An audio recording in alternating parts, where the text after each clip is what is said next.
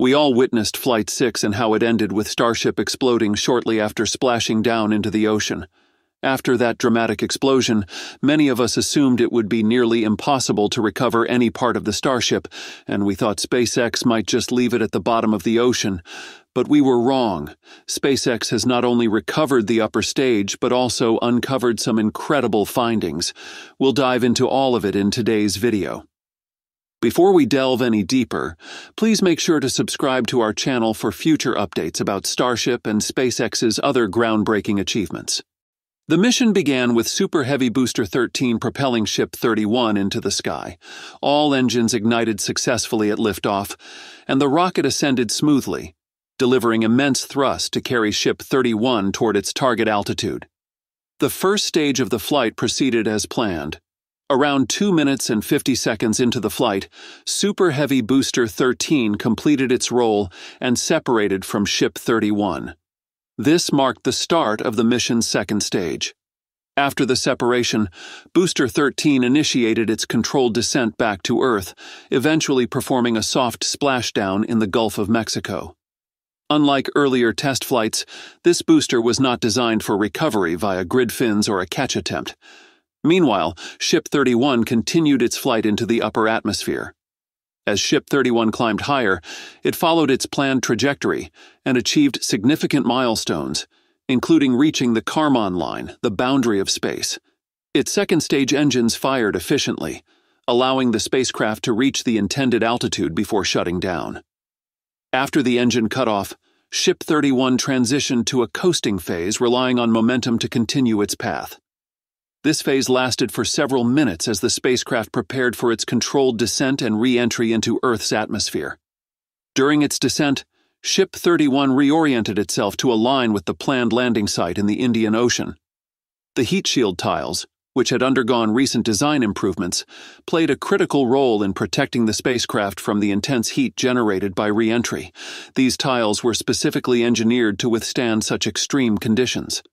After navigating through reentry, Ship 31 approached the ocean and executed a controlled splashdown.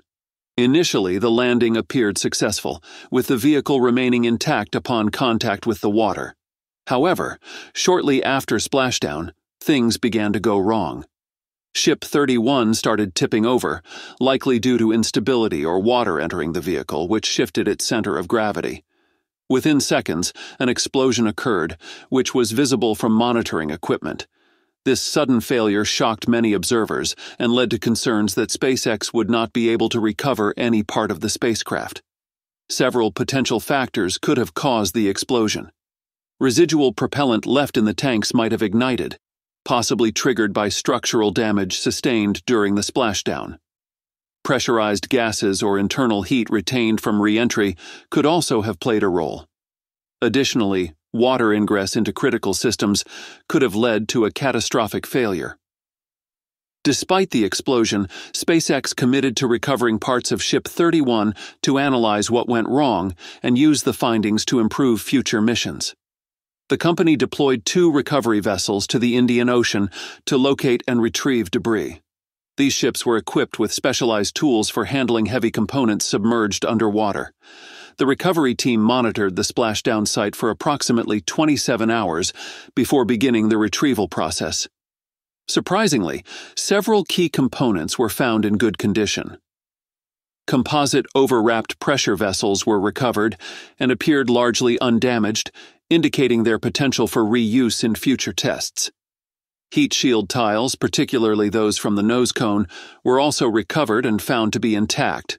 Initially, most people thought that B 13 would be recovered first because it's closer to SpaceX's operations. However, that didn't happen. While there's been little information about B 13's recovery, there has been significant progress with S 31. The two ships were sent from Australia to observe the landing and stayed near S 31 for about 27 hours before starting the recovery process. Although S 31 wasn't recovered as a whole, large sections of it seem to be in good condition. Eventually, they are expected to be sent to Starbase for further study. This data will help SpaceX improve Starship designs and recovery methods in the future. Musk has provided insights into what's coming next He confirmed that the seventh Starship flight will follow a similar flight path to the sixth. Both the Starship upper stage and the Super Heavy booster are planned to splash down in the ocean after their missions. However, the real excitement lies in the plans for the eighth flight. Musk revealed that SpaceX aims to make Flight 8 the first fully reusable Starship mission. This would involve catching both the booster and the Starship upper stage with the Mechazilla tower arms, a monumental milestone in spaceflight engineering. While SpaceX has already demonstrated the ability to catch the Super Heavy booster using Mechazilla during Flight 5, catching the upper stage presents an entirely new set of challenges. The Super Heavy booster is comparatively easier to recover because of its predictable descent path and its ability to perform a controlled return. The booster's descent is primarily vertical, and it uses its grid fins to guide itself back to the launch tower with precision. This process, while still incredibly complex, is something SpaceX has been perfecting with its Falcon 9 rockets for years. The upper stage, however, is a different story. After separating from the booster, the Starship upper stage travels at much higher speeds and covers much greater distances. It must complete its mission in orbit before re entering the atmosphere, making its descent trajectory far more dynamic and less predictable. Atmospheric drag, varying re entry angles, and the extreme heat generated during re entry all add layers of complexity to the recovery process. Furthermore, the upper stage is designed to carry payloads into space, which means it needs to retain its structural integrity while also being lightweight enough to optimize its performance. This makes designing a heat shield that can withstand re-entry forces while remaining light and durable a significant engineering challenge. SpaceX has already made progress in this area with its advanced heat shield tiles, but ensuring they perform reliably for recovery is a major hurdle. Flight 8 is expected to test these capabilities, and success would mark a turning point for SpaceX. However, Musk has acknowledged that this step will be incredibly challenging and will likely require multiple iterations and test flights before it becomes routine. SpaceX has recently achieved another major milestone with its Falcon 9 rocket, marking the 400th successful launch.